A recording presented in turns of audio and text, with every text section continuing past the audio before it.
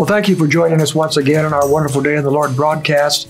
As we look at the promises of God in, the, in our bigger uh, theme that we've been looking at for several weeks, and, and uh, in particular this week, looking at the promises of God related to times uh, when we, we have been offended or harmed by other people, when people have wronged us. And unfortunately, in a world like ours, that happens.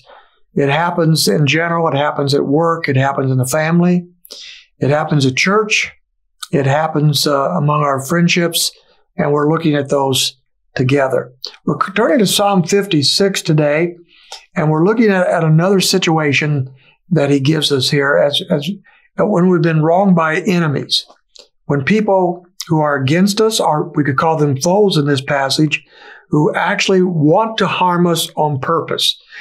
Now, many times we're offended and harmed by people who didn't necessarily mean to do that, at least not intentionally, but did so anyway, and maybe they don't care.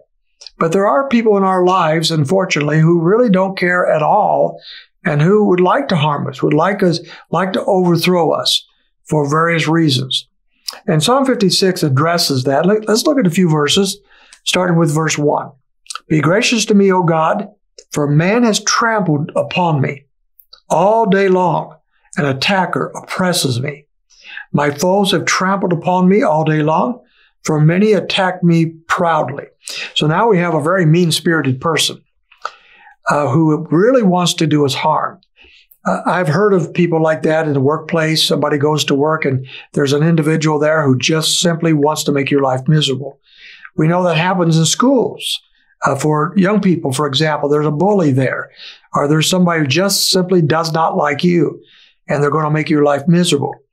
Uh, this could happen, in, unfortunately, in our homes, our families, our friendships. So it can happen. We have this antagonistic individual who is trampling. That's the way he, he says it, trampling upon us. That's a pretty mean spirited picture, isn't it? Someone really wanting to, wanting to stomp us into the ground. Well, verse 5, he says, all day long they distort my words. Here's a particular way they're doing it. All their thoughts are against me for evil. They attack, they lurk, they watch my heels as they are have hoped to take my life. So in this situation, at least for uh, the psalmist, this individual really wants to go to the to the nth degree and actually take the life of this individual. You probably do not have that situation but you might have the other. They're distorting your words. So you've said something, somebody's taken that, distorted it, gone out and uh, and spread gossip or slander about you. That's harmful, isn't it? That's painful to know that you really have no defense, and sometimes you don't even know that your words have been distorted to someone else. But uh, but this is what's happening to this individual. They attack and they lurk. They watch my heels. So they're looking for opportunities to um, hurt you, to take your words and distort them. Uh, and that not only hurts other people, but, but you find out other people now don't like you because of what somebody else says you said. That when we find out about things like that, that's very painful, isn't it? And so we have a situation in which uh, a foe, somebody who really doesn't like you, is intentionally causing you harm. But uh, we want to get to the promise of God in relationship to that, and we drop down to verse 8 for that. You have taken account of my wanderings. He's talking about God. You, you know my wanderings. You know that I'm stumbling around because of this circumstance. Put my tears in your bottle, and, and there are they not in your book? This is a comforting set of promises. The Lord knows that you are hurting.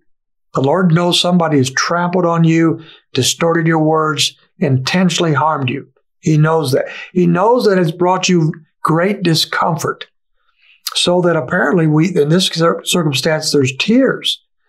And, uh, and he says you've taken those tears and put them in your bottle. That, what a beautiful way of saying that God is, is, has seen your agony.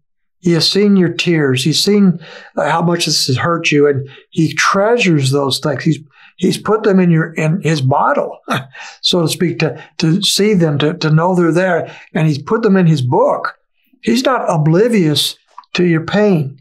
He's not looking the other way as other people trample on you. He he deeply, deeply cares about what you're going through.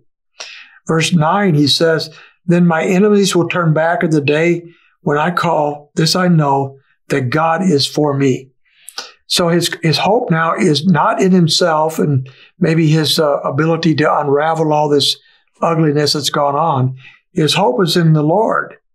His hope is, is knowing that he will be able to call upon the Lord in this day of trouble. And when he does, he knows that God is for him. Again, we're looking at the promises of God. God does not always promise to, to, do, to do away with enemies, to, to fix every circumstance of life that's come against us, but he has promised to care and he has promised to be for us. God is always for, always for his children, never against them. That should give us great comfort because in the, at the ultimate doings, the ultimate time, God is for us and God will unravel these things. These things will not shake us as we saw yesterday because he cares. He puts our tears in his bottle. He writes our words in his book and he is for us. That's the promise of God. That should give us a wonderful day in him.